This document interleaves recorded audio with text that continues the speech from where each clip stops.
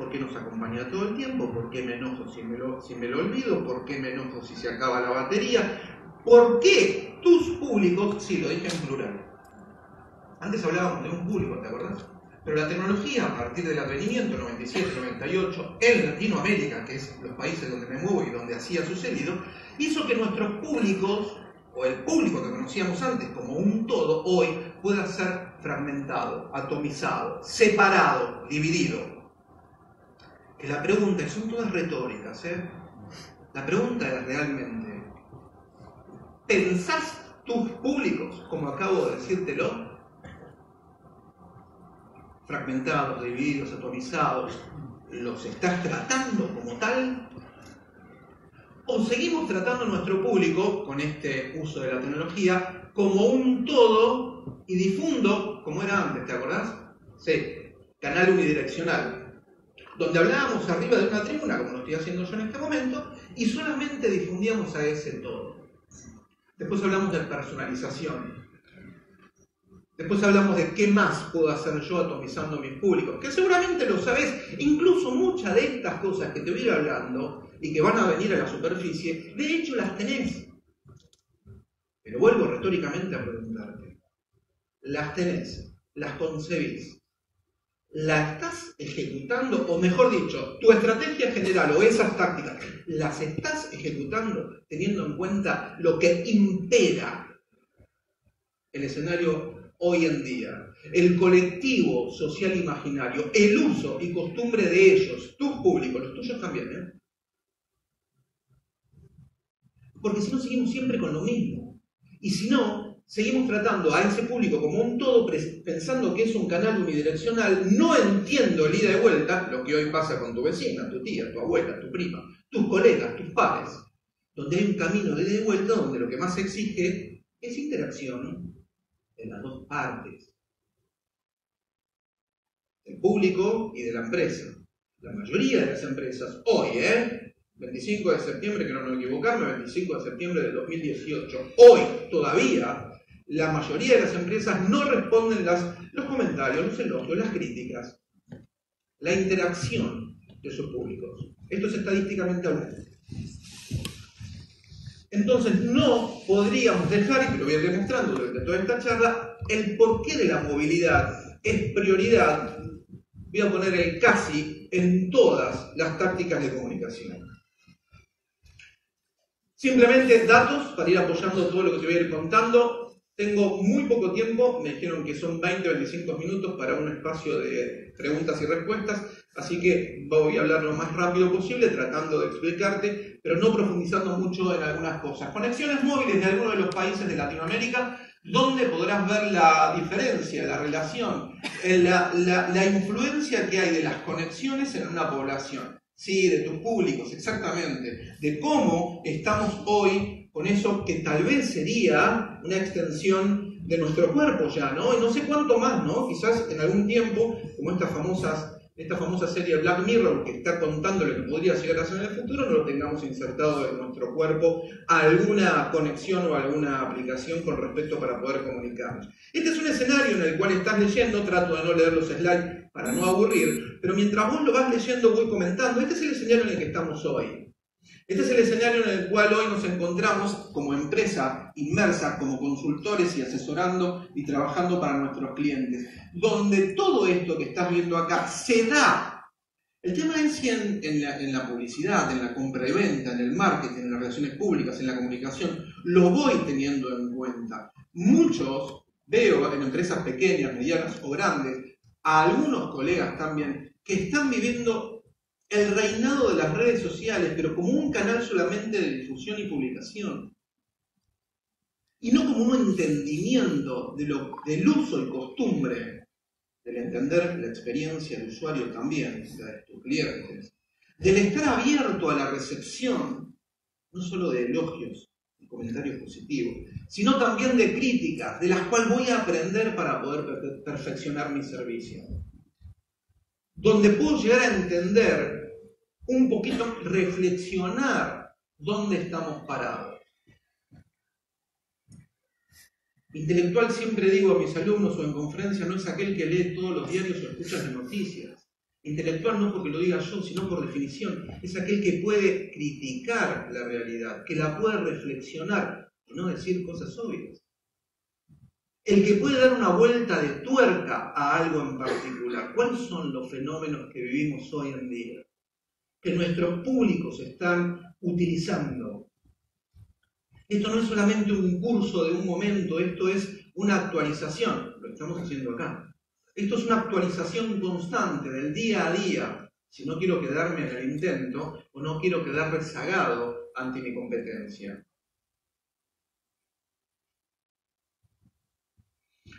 Sigo sosteniendo el por qué la movilidad del dispositivo móvil es una cuestión de prioridad en toda tu estrategia. Esto es un, un, estudio que se hizo, una investigación que hicieron dos universidades. Encerraron a un grupo de personas por 10 minutos, escuchar lo que te digo, 10 minutos.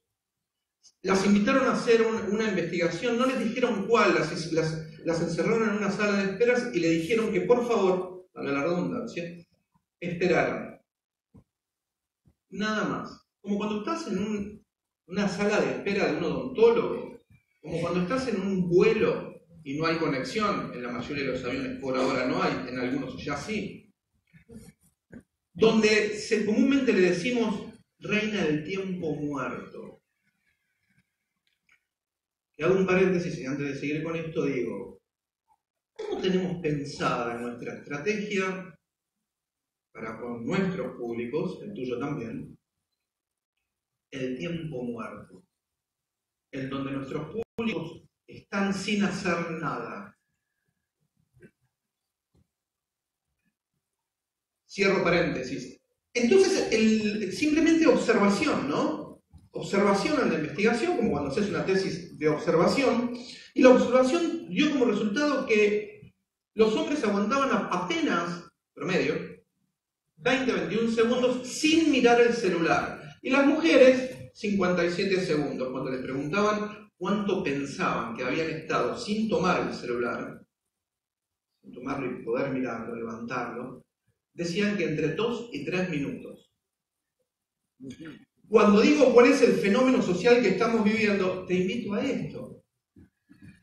A que realmente estemos actualizados y pensando estos usos y costumbres no el tuyo solamente, el de la sociedad, el del colectivo social imaginario. En, donde podemos sacar conclusiones, compartirlas, discutirlas, le llamo discusión, discusión al intercambio de ideas, discutirlas para una mejor proyección o ejecución de un plan de comunicación. Esto es lo que le pasa a tus públicos, con el celular en la mano, es retórico, no me contestes, pero ¿qué estás haciendo respecto a, esta, a este uso y costumbre? De hecho, ¿cada cuánto miras tu celular? Y en este momento, incluso tal vez te equivoques, pienses como ellos que lo tomás cada dos o tres minutos y no cada 20 o cada 50 y pico de segundos. ¿Qué pasa cuando te lo olvidas? Ahora, podés olvidarte en el carro, en el automóvil, en, el bus, en el colectivo, en el tren, tal vez a tu sobrinito o tu hijo, que llamás por teléfono rápido desde un fijo y le decís a tu pareja, anda a buscarlo. ¿Qué haces si te olvidas el celular? Llamás a tu pareja y le decís, desbloquealo y contestame las cosas que me vayan llegando. ¿Por qué te reís? ¿Qué pasa si te lo olvidas? ¿Nomofobia? ¿Fobia a olvidártelo en tu casa y que esté tu pareja? No, volvés, te podés olvidar la billetera, la cartera de la dama, el peine del caballero, las llaves, puedes olvidarte las tarjetas de crédito, pero que Dios nos ampare y no nos olvidemos el teléfono móvil, ¿o no? Esto le pasa a tus públicos también. Esto es conocer a nuestros públicos también. Pero tratar de ver la posibilidad de tomar ventajas de estas cosas. Incluso este gráfico me pareció una barbaridad. Te acompaña al toilet, al baño.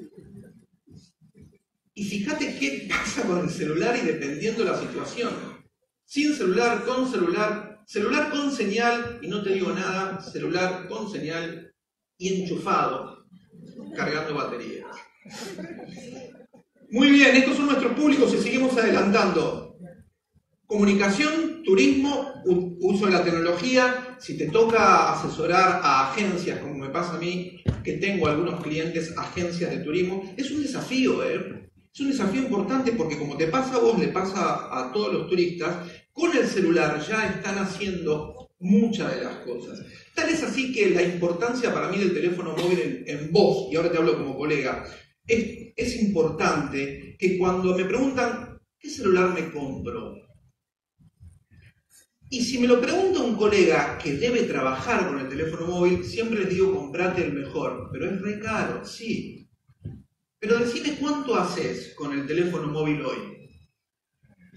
Hace 20 años atrás yo lo usaba para hablar por teléfono nada más. Hoy creo que vos, vos también y yo, lo que menos hacemos es hablar por teléfono. Pero ¿qué, qué hacemos o cuántas cosas hacemos?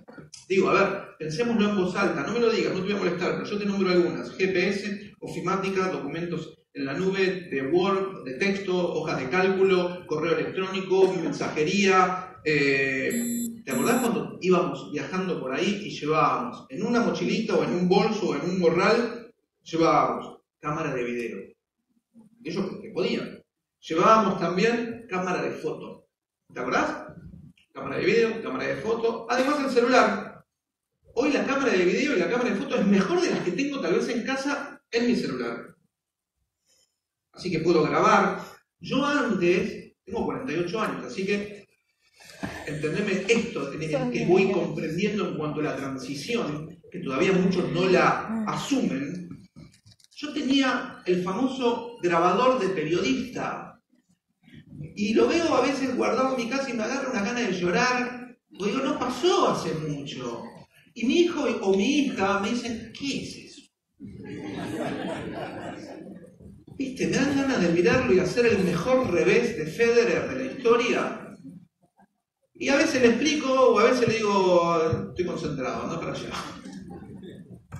Cassette mini, cassette grande. No te digo cuando mi mamá me regala el, grabador más grande, no el periodista, más grande, pero tenía micrófono que salía con un cable.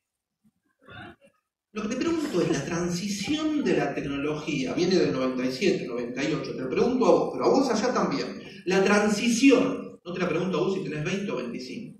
La pregunto vos si estás arriba de los 30 para arriba. ¿La estás haciendo? ¿O seguimos conduciendo nuestro equipo, trabajando nuestras estrategias, ejecutando un plan con la metodología de antes y con las herramientas nuevas? Escucha esto que te voy a decir, mirá. Antes me pasaba, calculo que a ustedes también, antes me pasaba que había o teníamos decenas cientos de ideas. Pero ¿sabes dónde estaba la dificultad? En las herramientas carentes que teníamos. No había carencia de herramientas para poder ejecutarlas. Hoy, y desde hace algunos años, se da la inversa. Hoy tenemos cientos, miles de herramientas, algunas conocemos, otras no, para poder ejecutar pero ¿qué nos faltan? Ideas. ¿Porque somos poco creativos? No. No. Seguramente te gusta estar en forma, te gusta salir a caminar, haces ejercicio, te cuidas, entrenás, ejercitas. Lo que tal vez nos falta es, así como ejercitamos nuestro cuerpo, tal vez ejercitar un poquito más nuestra mente que nos sirva para poder improvisar. No te confundas. Improvisar no es inventar. Improvisar es consecuencia del conocimiento que aunás y surge tal vez una idea. Tal vez nos falta un poquito de esto. En nuestro momento laboral, en el tiempo muerto, te estoy hablando como colega, te estoy hablando de, de par a par donde pueda leer y que me creen más dudas. Ojalá de acá, después de mi conferencia, te vayas con muchas más dudas de las que cuando empecé a hablar.